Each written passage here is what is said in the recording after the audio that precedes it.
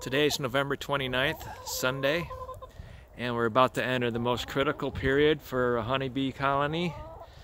December, January, February, and March.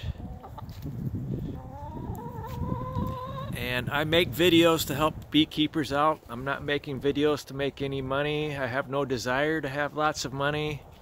I have other ways of making money. And let me show you the best way to keep a honeybee colony alive during the winter on the south side of a building up against the wall with insulation behind one inch behind and two inches on the side. And here is a shim with hard cane sugar.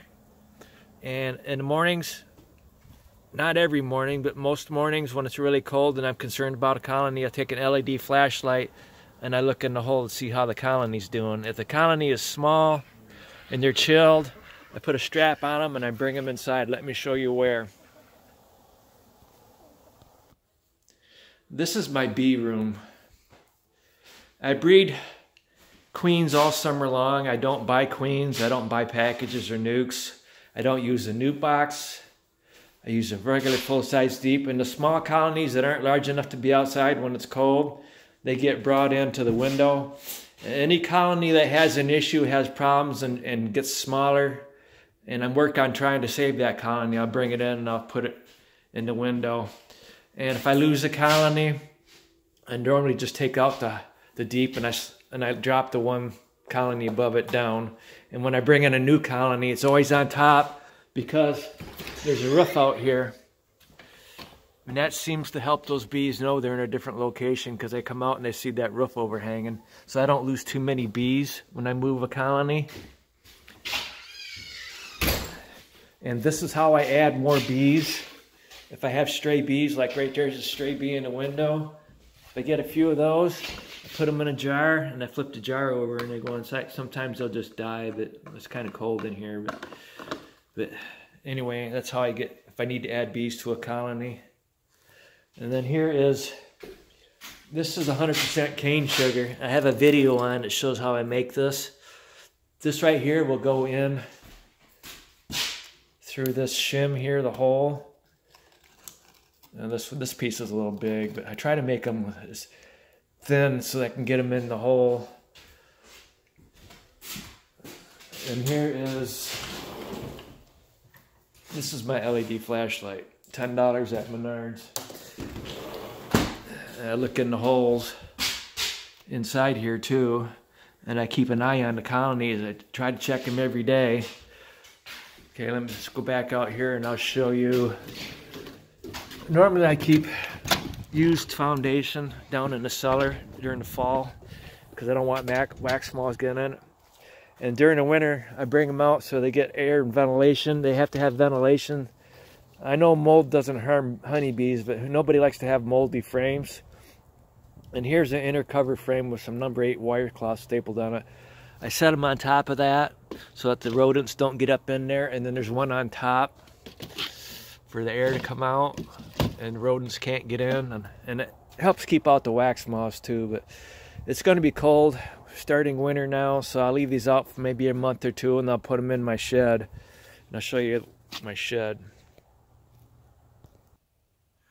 during the winter, it gives you time to do other things like build frames or put foundation on frames. I've already got all of these deeps. They all have foundation on the frames. And this shed here, I've never been able to keep the wax moths out because they get in around this door. So I don't keep frames in here with used foundation, the brown foundation, because the wax moths get into it. And then to keep the rodents out and other things, I, I put always put these on top. One time I forgot to do that on a stack of deeps and the mice got in there and made a nest, chewed up the wax, made a nest. And then here's where I build my frames. And I've got all my frames here that I've checked them. So they're ready for foundation. And during the winter, you can't order foundation, so I have to wait until spring but I'm set up for, I have enough foundation to get started next year, and we'll see how next year goes, and I'll probably be buying more foundation. So let me show you what I do during the winter with my table saw. During the winter, I'm not spending time pulling weeds in my garden or out in my clover over there. So I have time to do these parts. These are frame parts on the table saw, and I put in a stack of eight inch saw blades, and I cut out like this right here. This is set up for the top of the frame. Just like that. Goes on there and go like that. Turn it over. That's the top. And then this is the bottom groove. And then the last cut I make on these, well, I'll be moving this over and I put a piece of uh, underlayment down and I just carefully go over that saw blade like that, flat, to a certain point, and that puts the taper in it. So as you can see, those are all deep frame parts. There's probably, oh, a few thousand there. I could probably make a thousand frames out of those. So, you know, when you're not checking your hives, and I recommend you do that as much as you can, you spend time building stuff because it's a whole lot cheaper than buying it. But don't be like other beekeepers and just put your bees out somewhere for the winter and just hope they'll be alive next spring. You got to keep an eye on them. And if they have an issue, put a strap around them. See, this right here is a small colony. It's got a strap around it. And if I think it's too cold for that colony to be outside, I'll bring it in. And during the winter, I've gone through eight winters. Some of them were polar vortex winters back to back. It's okay for a colony to be inside a building for two or three months if they're too small to make it outside. And this right here has a. have uh, actually had to pop this window down and have a screen and let out some of the heat because these bees will generate quite a bit of heat. But I do have for heat here, hot water off of this thermostat. But generally, I don't need any heat in here because the bees get too warm. So I have to run a fan most of the time. And these comforters here are for the front of the windows here outside. What I do is I plug up the holes, plug these holes up with rags, and then I put the comforters on this rope here to cover them up to help keep the heat in so they don't get too cold. And by doing that, I don't have to heat the room. And every day, I try to every day, if I know the bees are going to be flying, I come out in the morning and I'll sweep. This has been swept and that's been swept out there, that concrete. So I know these bees came out during the day.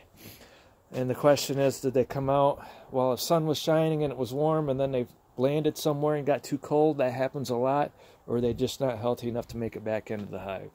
But I'm not seeing a lot of dead bees in the bottom of my hives. I've used acetic acid five times this year, twice in September, twice in October, and once in November. So hopefully my bees will be okay. So good luck to the rest of you this winter. Hopefully you'll get through just fine and make increases next year. Okay, thank you.